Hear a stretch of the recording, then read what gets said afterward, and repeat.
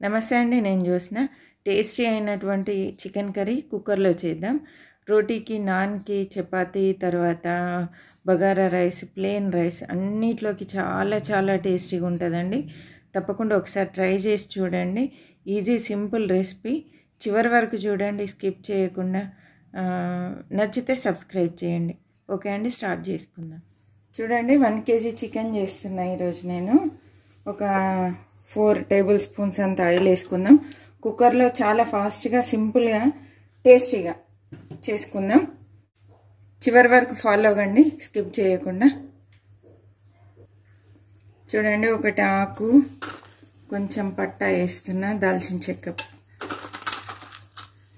ఒక రెండు మూడు ఇలైచీలు వేసుకుందాం. ఒక రెండు లవంగాలు. మళ్ళీ పొడి వేస్తా.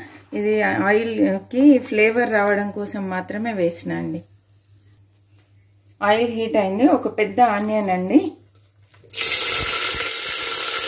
కొంచెం కరివేపాకు తర్వాత పచ్చిమిర్చి రెండు అండి ఇవి మంచి కలర్ వచ్చే వరకు ఫ్రై చేసుకోవాలి. చాలా సింపుల్ ఈజీ అండి. చేయడం మాత్రం టేస్ట్ మాత్రం అద్దరిపోతుంది. మీరు ట్రై చేసి చూడండి. మీకే అర్థమవుతుంది. చూడండి ఆనియన్స్ కొంచెము ట్రాన్స్పరెంట్ కలర్ అయినాయి. తర్వాత కొంచెం సైడ్స్కి బ్రౌన్ కలర్ స్టార్ట్ అయింది. ఇప్పుడు మనం అల్లం వెల్లుల్లి పేస్ట్ వేసుకుందాం. ఒక టీ స్పూన్ పడుతుందండి కేజీ కాబట్టి. ఇంకొక హాఫ్ టీ స్పూన్ వేద్దాం. ఇది పచ్చి ధనియాల పొడి. తాలింపులు వేస్తేనే బాగుంటుందండి. ఇది చిన్నది స్పూన్ హాఫ్ టీ స్పూన్ ఉంటుంది సైజు అందుకే నేను టీ స్పూన్ కావాలి కాబట్టి రెండు వేస్తున్నాను. మీరైతే వన్ టీ స్పూన్ వేసుకోండి. పసుపు అండి ఇది కూడా చిన్న స్పూన్. ఒక హాఫ్ టీ స్పూన్ పడుతుంది మనకి. చూడండి అందరం వండేది చికెనే కాకపోతే మనం వేసేదాన్ని తర్వాత ఎప్పుడు వేస్తున్నాం అనేది ముఖ్యము. కారం నేను తాలింపులో వేస్తున్నా. అంటే మంచిగా వేగి మంచి టేస్ట్ వస్తుందండి. నేనైతే ఒక త్రీ స్పూన్స్ కారం వేస్తున్నా అండి. పావు కేజీకి ఒక స్పూన్ పడుతుంది. మేము కొంచెం కారం తక్కువ తింటాం. అందుకే త్రీ స్పూన్స్ వేసినా మీరైతే ఫోర్ వేసుకోండి. ఉప్పులు కారాలు మీరు తినేదాన్ని బట్టి వేసుకోండి. చూడండి చికెన్ కూడా ఇందులో వేసేస్తున్నా. మంచిగా శుభ్రంగా కడిగి పెట్టాను ఇది.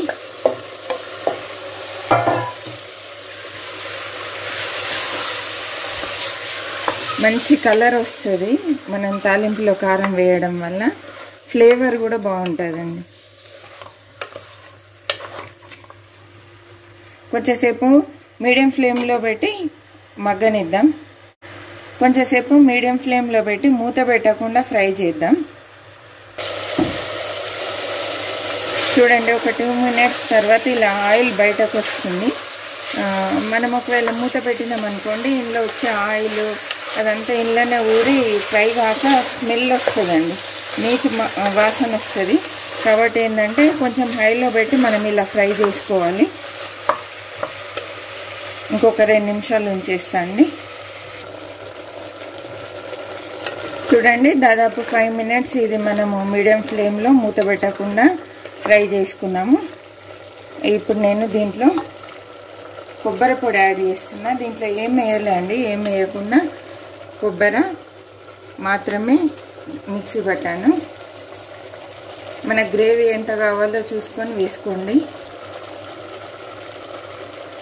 నేనైతే ఒక ఫోర్ టీ స్పూన్స్ వేస్తున్నాను అండి పొడి. ఇది గరం మసాలా అండి ఇంట్లో తయారు చేసింది. లవంగాలు ఇలైచి దాల్చిన చెక్క సాజీరా వేసి కొన్ని ధనియాలు వేసి పొడి చేశానండి. ఇది మంచి స్మెల్ ఉంటుంది ఫ్లేవర్ కూడా బాగుంటుందండి. ఘాట్ ఎక్కువ ఉంటుంది అందుకే కొంచెమే వేసాను.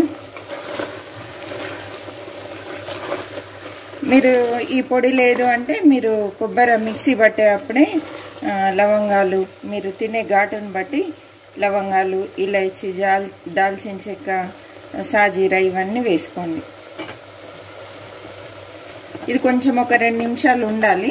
ఆయిల్ బయటకు వచ్చేంత వరకు ఉంటే బాగుంటుందండి. సాల్ట్ వేస్తున్నాను నేను ఇప్పుడు. దీనికి one and half tea spoon పడుతుంది.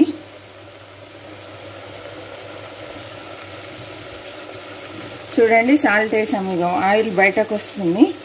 నేనైతే ఏం కలపలే అండి. కలపకుండానే వాటర్ వేసేస్తున్నా. ఎంత వేయాలి అంటే మనకు కుక్కర్ కాబట్టి ముక్కలు మునిగే వరకు వేస్తే సరిపోతుంది. మీకు ఇంకా సూప్ ఎక్కువ కావాలంటే కొంచెం ఎక్కువ వేసుకోండి.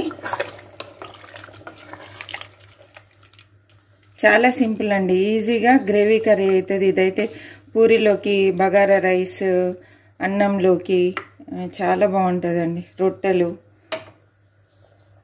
కొబ్బరి వేసాం కదా చాలా చాలా టేస్టీగా ఉంటుందండి. ఇప్పుడు నేను కొత్తిమీర వేసేస్తున్నా ఇప్పుడే వేస్తున్నా. మనం ఎందుకంటే మూత పెడితే ఈ ఫ్లేవర్ కర్రీ మొత్తం పీసెస్ కూడా పడుతుందండి. టేస్ట్ బాగుంటుంది. సింపుల్ ఒక టూ విజిల్స్ పెట్టేసుకున్నా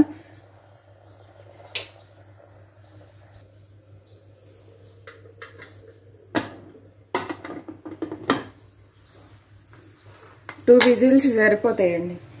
తర్వాత వెయిట్ తీయొద్దు ఇట్లా ప్రెషర్ పోయేలాగా విజిల్ తీయొద్దు.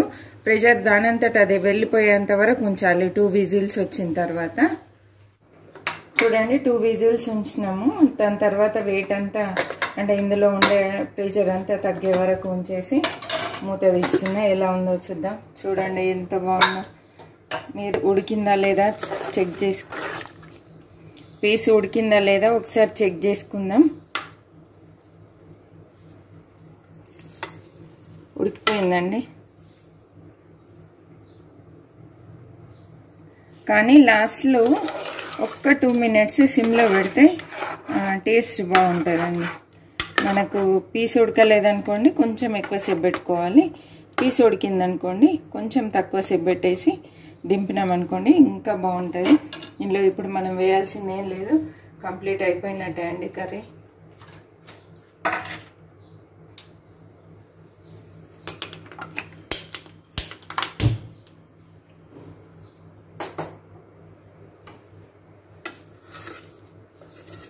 మీరు కావాలంటే కొత్తిమీర ఇప్పుడు కూడా వేసుకోవచ్చు. ఈ ఇటువంటి టైంలో వేయచ్చు.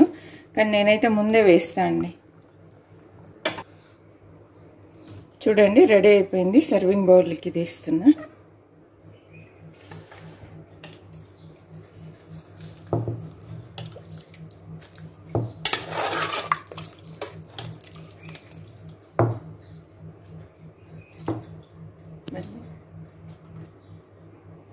చూడండి ఎంత కలర్ఫుల్ ఉందో. ఈ వీడియో కనుక నచ్చినట్లయితే లైక్ చేయండి షేర్ చేయండి సబ్స్క్రైబ్ చేయండి.